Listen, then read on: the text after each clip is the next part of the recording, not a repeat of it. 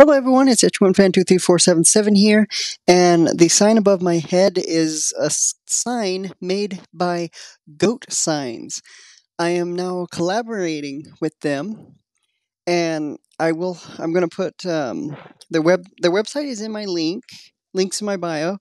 And if you follow that link, you can go and check out Goat Signs, and I have a code for you. If you type in SG1 fan 23477 i will put it right here in the in front of my face or right next to it um, and you get 5% discount at checkout.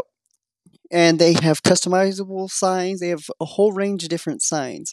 This is just one of a few that they've got at goat signs. That's g-o-a-t link is in my bio. Follow that link go to my link tree and you'll see it's should be one of the top links on there. It's um, goatsigns.com slash SG1fan23477.